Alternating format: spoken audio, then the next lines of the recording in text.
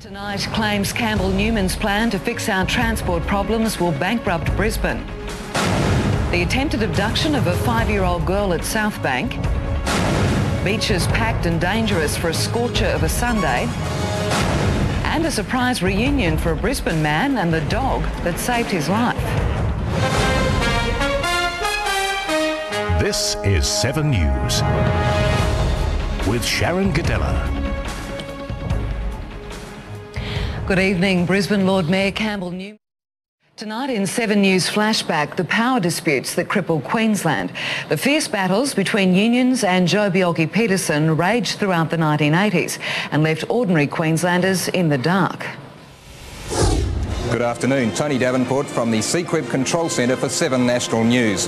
I'm here tonight because Queensland is in the grip of its worst ever power strike. The blackouts hit regularly, catching Queenslanders off guard. It's not been possible to give people who depend on electricity uh, adequate notice. Uh, for instance, dialysis machines, uh, life support systems, a water supply and sewerage installations. The dispute started in the power stations. Power had to be rationed throughout the state. Power blokes are a bit greedy and uh, they should think of the public a lot more. Customers shopped by gas or torchlight. Stock perished and food outlets couldn't cook, except those with gas who thumbed their nose at the dispute. With no power, petrol couldn't be pumped. Hospitals were disrupted and dialysis patients suffered. Traffic lights were useless. Police manned main intersections. There were even deaths as vehicles collided at major intersections.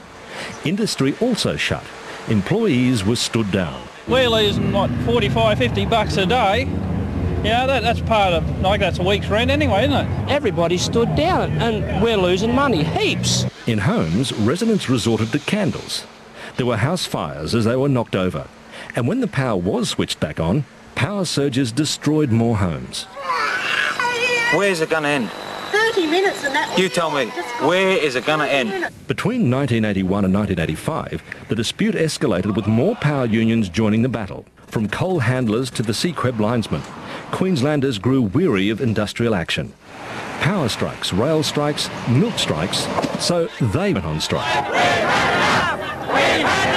Thousands of ordinary citizens marched in Brisbane, clashing with union supporters. Only one union official braved the crowd, rail boss Peter Beattie. He was booed off stage.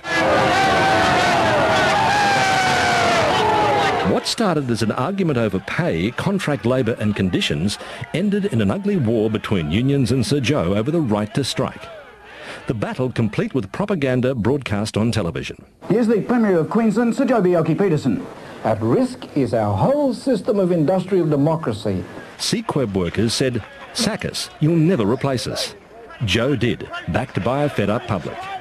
Today, the bitter wounds of that dispute continue, and strikes in essential services are now a thing of the past.